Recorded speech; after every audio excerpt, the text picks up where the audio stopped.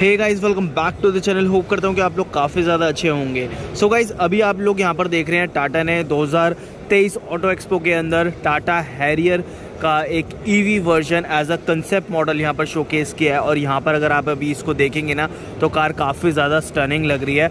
सबसे पहले बात करेंगे इसके फ्रंट प्रोफ़ाइल की तो यहाँ पर सेम वही सेटअप दिया गया है और जो ऊपर की साइड में जो है स्प्लिट हेडलैम्प सेटअप पूरा देखने के लिए मिलेगा। ऊपर की साइड में डी मिल जाएँगी बट इसके अंदर एक चीज़ की चेंज आएगा कि ये पूरा जो है कनेक्टेड हो जाएगा और पूरा आपको डीआरएल वाला लुक मिलेगा। साथ ही टाटा का जो लोगो है वो यहाँ पर ग्लो होते हुए दिखाया है। बट जो इसकी फ्रंट ग्रिल होगी वो पूरी तरीके से क्लोज्ड होगी तो सेम चीज़ यहाँ पर भी हमें देखने के लिए मिल जाती है।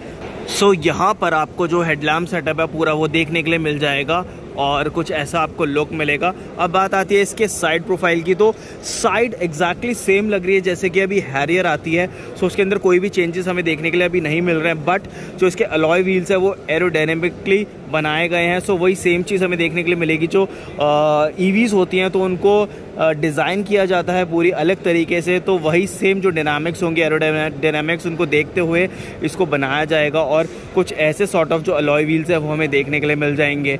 सो so, अब बात आती है इसके रियर प्रोफ़ाइल की तो वही सेम चीज़ जो कि फ्रंट में है, वो यहाँ पर कंटिन्यू की गई है। सेम जो पूरा कनेक्टेड बार है ग्लो होता हुआ टेल लैम्प्स वो यहाँ पर भी हमें देखने के लिए मिल जाता है। सो वो सेम चीज़ यहाँ पर आप देख सकते हैं, पूरा ग्लो हो रहा है और काफ़ी ज़्यादा अमेजिंग लग रहा है। अब बात करें ऑटो इंडस्ट्री की तो सभी जो है टेल लैम्प्स में सेम सॉर्ट ऑफ़ जो लुक है, वो देने की कोशिश कर रहे हैं, क्योंकि काफ़ी ज़्यादा अमेजिंग लगता है। रोड प्रेजेंस इससे बढ़ जाती है और कहीं ना कहीं जो लुक्स है, वो अमेजिंग हो जाती है। सो यहाँ पर अभी आप देख सकते हैं टाटा हैरियर ईवी की जो पूरी बैजिंग है, वो आप यहाँ पर देख सकते हैं। ये ये सेम जो लुक है, अभी भी हमें मिलता है हैरियर के अंदर बट ये ग्लो नहीं होता। सो ये डिफरेंस मिलेगा। डिफॉगर पीछे मिलता है वाइपर मिल जाता है हाई बाउंडेड स्टॉप लैम्प मिलता है, ऊपर शार्क एंटीना पैनरामिक सनरूफ यहाँ पर मिल जाती है। एंड पीछे जो है पार्किंग सेंसर्स आप देख सकते हैं। साथ ही जो रिफ्लेक्टर्स हैं, वो आप यहाँ पर देख सकते हैं। साथ ही जो रिवर्स लैम्प है, वो यहाँ पर प्लेस किया गया है। सो ये चेंज आपको मिलेगा।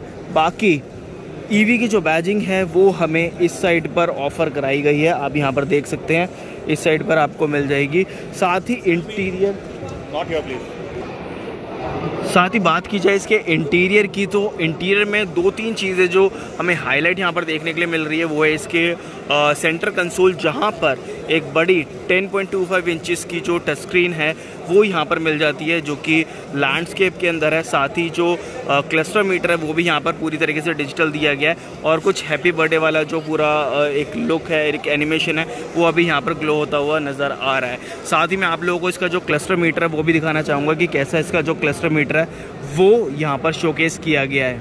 सो so, यहाँ पर अभी आप देख सकते हैं इसका जो क्लस्टर मीटर है कुछ पूरी तरीके से डिजिटल यहाँ पर शोकेस हो रहा है। सो so, कुछ ऐसा ही जो लुक है वो हमें इसके ईवी मॉडल के अंदर देखने के लिए मिलेगा। सो so, कुछ ऐसा जो लुक है वो हमें देखने के लिए मिल जाएगा।